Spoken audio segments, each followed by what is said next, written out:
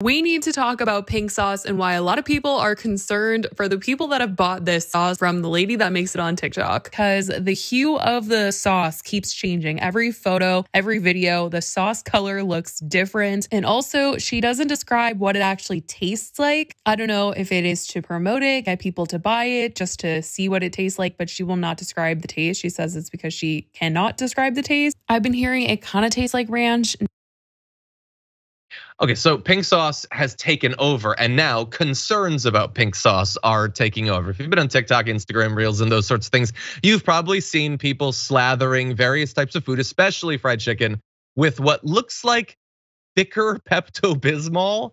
And it is actually being offered for sale. It started with uh, Veronica Shaw, apparently, Chef Pii, I believe, um, came up with this sauce. It's really a condiment, although, you know, blurred lines when it comes to those two things. Um, has actually been doing this for a bit since early June. And uh, now it's actually for sale $20 a bottle. There's some small issues, like the, the fact that it says that there's 444 servings in it, which is, I, I don't think, technically true. And apparently it has to do with the fact that Veronica Shaw is really into what are called angel numbers, which I get it. That's a cool interest to have. I don't see why it has to be a part of your nutritional facts, but um, so people are a little bit worried about the safety of this stuff being shipped around. Um, I'm not ready to advance to that level of concern though. I, I just want to start with the look of it.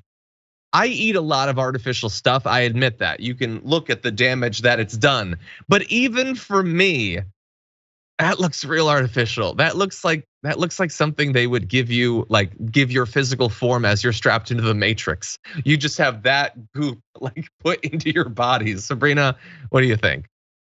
That's the thing. The fact that she's putting this unappetizing looking pink sauce on savory food it just it doesn't even look appealing so i don't understand why it got so popular or what I don't understand why everybody else wants to Wait, eat it. You don't understand why it's I mean yeah, I look at it. That draws the eye. I understand why it's popular. I don't understand why other people want to eat it because the only thing that we hear uh, that we've been hearing talked about is the color and the potential safety of the actual food as to like whether you can even eat it. But nobody even really, really talked that like she doesn't talk that much about like how her pink sauce tastes. You just see her putting it on mm. stuff. And I guess like if you look at the ingredients, like the yogurt and the mayo and whatnot, like it looks like it's like a ranchy kind of type thing. But it's like yeah. That that's that's not that appealing. I'm I'm definitely more concerned with the food safety. You know, she's shipping these out. Um, it's been pretty hot lately this summer. Yeah. Um, I don't want to eat that. I'm a, I'm a little bit worried uh, about that part of it, but other than that, I don't want people to think that I'm necessarily a hater. Maybe about the safety stuff. So you know, get that locked down and make sure that people aren't getting sick or whatever. But I, I respect uh, turning something so quickly from a viral hit into a business. Um, I respect the business plan. If you can have your product look like it's one thing, but it's actually ranch, I think in America that's a pretty good way to go. And not just for sauces, honestly. If you're selling like gaming chairs and stuff, just have it be ranch. Americans love ranch, they'll pay for it. Um, and I have to admit, although I have not tried the pink sauce, I have not been immune to participating in some of these viral food trends that might on their surface seem disgusting. I did a couple of years ago make a pizza and eat it. I don't know. Have you ever had a pizza?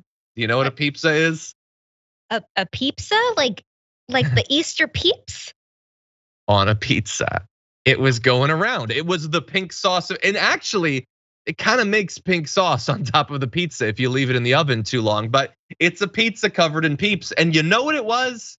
What? Pretty good. It's no, actually, John. It was pretty good, honestly. It was better than peeps or pizza alone. So take the debate back to pineapple. I liked it better when that was the debate, and you just shrug it off. But peeps.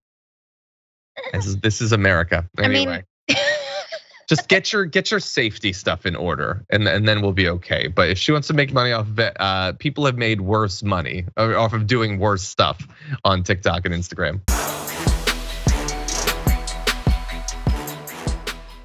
For more political news breakdowns, interviews, stories of activism, and me trying my hardest to care about the occasional big celebrity news story, subscribe to our YouTube channel at youtube.com slash the damage report. And you can ring the bell wherever it is so you don't miss anything.